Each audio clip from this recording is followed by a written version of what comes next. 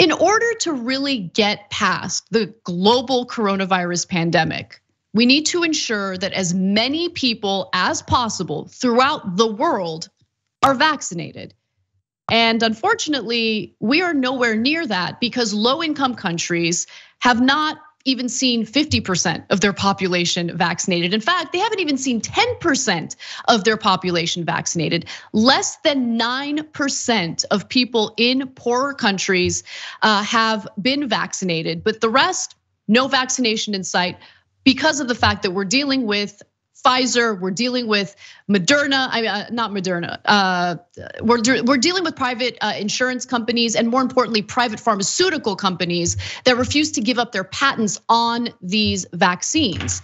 Now, there are some heroes in the world, and there are two specific researchers who have developed what's referred to as an open source vaccine. It's exciting news because they found a way to develop a vaccine that relies on more affordable technology and it is incredibly effective and they have no interest in profit. They just want to distribute this vaccine far and wide. They want to ensure that low income countries uh, are able to use it. The only problem is they need resources to distribute this vaccine. And unfortunately, the United States has offered absolutely no help.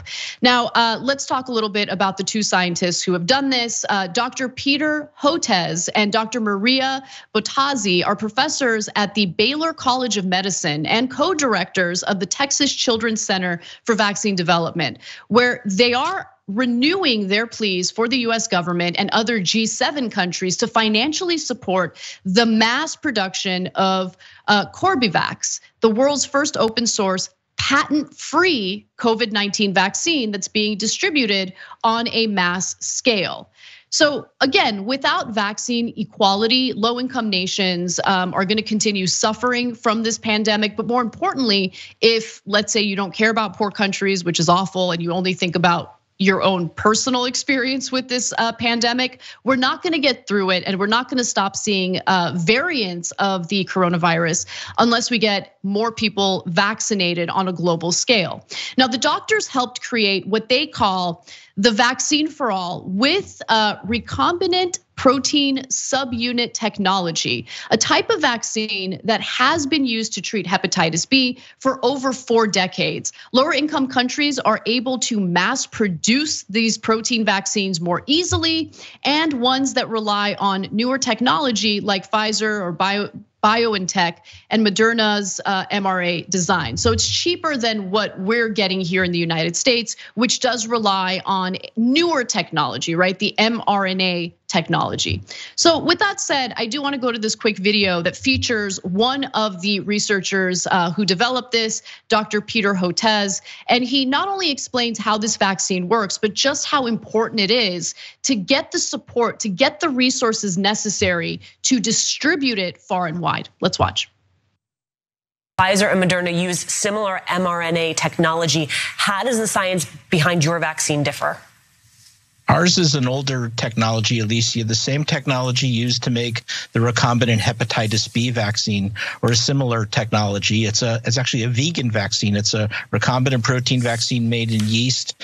This uh, this is technology has been around for almost 40 years. It's been used to make the hepatitis B vaccine, which is safe and even used in kids. Our we our Texas Children's Center for Vaccine Development, we like to say we make the vaccines the pharma companies won't make. We make vaccines for parasitic infections such as Chagas disease, which is decimating the poor across Latin America, schistosomiasis, the poor in, in, in Africa who acquire female genital schistosomiasis, a scourge of 40 million girls and women. We use that same approach for making our coronavirus vaccine starting a decade ago, and now a COVID 19 vaccines. We've licensed, uh, we've licensed it with no patent, no strings attached now to uh, vaccine producers in India, Indonesia, Bangladesh, and Botswana. India is the furthest along, an extraordinary group of collaborators there, uh, known as uh, Biological E, uh, and they've been producing their vaccine called Corbevax that we transferred the technology to. We helped in the co-development. So Corbevax uh, has already proven to be extremely effective against coronavirus. Uh, it's it's proven to be effective against Omicron with a booster of this vaccine. And again, it is a cheaper vaccine uh, that has been proven to be effective, that does not have a patent and does not have a profit motive behind it. In fact, in an interview, Dr. Hotez also said this: "Our goal is to save lives, not make a profit. We knew that the resource we knew for resource poor settings, there'd be a learning curve before you could make enough mRNA vaccines for the 9 billion doses that would likely be needed for Africa, Asia, Latin America. So we, right off the bat, took a different approach to use the technology that we have used before to partner with vaccine developers in low and middle income countries. I mean, think about how incredible these researchers are and how important their work really is. You know, for, for those who have experienced some vaccine hesitancy as a result of the profit motive behind it, you know, it's an understandable suspicion. I, I, I understand that reasoning behind it. I don't agree with it in this context because there's endless data showing that um, the mRNA vaccines are uh, safe and have saved lives. But in this case, this vaccine relies on older technology and is still proven to be incredibly effective and more importantly, it doesn't have a profit motive. So, this is something that could even be an option in the United States if the United States was receptive to it. But unfortunately, their reaction to this has not been a good one. So, um, as Vice reports, to date, the United States and European countries have hoarded vaccines, and pharmaceutical companies and the United States government have refused to share the manufacturing know how and recipes. The philanthropic arm of the Texas based Tito's Vodka, which donated $1 million to this effort, has actually contributed more funds than the US government. So just, just let that sink in for a second. Okay. I am not in favor of like, oh, wow, look at this corporation. They're doing charity work. Let's give them a pat on the back. I'm not, I'm not one of those people, okay? I don't want to rely on private companies to take care of us. However, the fact that a tequila company has provided more resources for this effort than the United States government should enrage every single one of you. And to be sure, it enrages me, especially when you think about the fact that Joe Biden paid lip service to lifting the patents on the uh, Pfizer and Moderna vaccines, but then put absolutely no action behind it. None, zero. I mean, this is who Biden is. Biden is Mr. Talk a big game and then do absolutely nothing because he likes the positive PR. He wants people to get off his back, but he doesn't want to do the work, the very simple work necessary to save lives, whether it be with his own Build Back Better agenda or in this case, with making vaccines accessible to as many people across the globe as possible. And why is that? You guys know that this country is ruled by corporate interests. Pharmaceutical companies hate the idea that there's an open source vaccine, a patentless vaccine available. It also costs a lot less. So, what if the United States maybe considered uh, paying for a cheaper vaccine? And I want to give you those numbers as well in just a moment, but a few more details for you. Um, more than two thirds of Congress cashed a check from the pharmaceutical industry ahead of the 2020 election, according to Stat News. So the issue of money in politics is real. When I talk about corporate rule, I'm not just making it up, I'm not using hyperbole.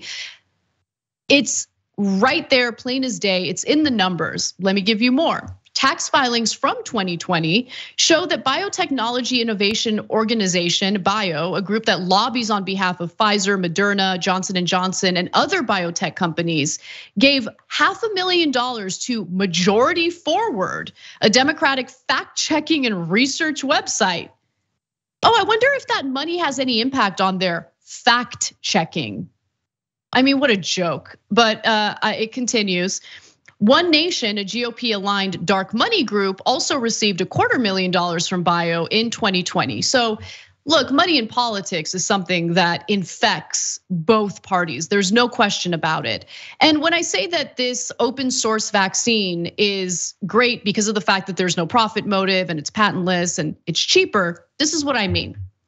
In July of 2021, the United States government and Pfizer Okay, they signed a $3.5 billion contract for the purchase of 500 million doses of the Pfizer vaccine for international donation to low and middle income countries. Oh, wow, that seems really nice. Each Pfizer uh, dose costs $7, whereas Biological E, an Indian company that has licensed Corbevax, is selling each of its shots for about a dollar. $1 versus $7. So we are spending seven times the amount necessary to purchase doses of the Pfizer vaccine for uh, low income countries around the world. And clearly, we haven't purchased enough, uh, especially when you consider that only uh, less than 9% of the population in these low income countries are fully vaxxed.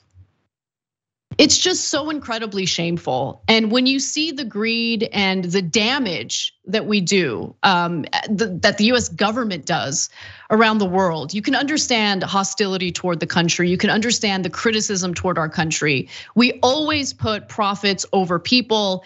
And even in a global pandemic, it doesn't change the corporate rule still plays a dominant role in the decision making among our lawmakers, and that includes Democrats and Republicans. Thanks for watching The Young Turks. Really appreciate it. Another way to show support is through YouTube memberships. You'll get to interact with us more. There's live chat emojis, badges. You've got emojis of me, Ana, John, JR. So those are super fun. But you also get playback of our exclusive member only shows and specials right after they air. So all that, all you gotta do is click that join button right underneath the video. Thank you.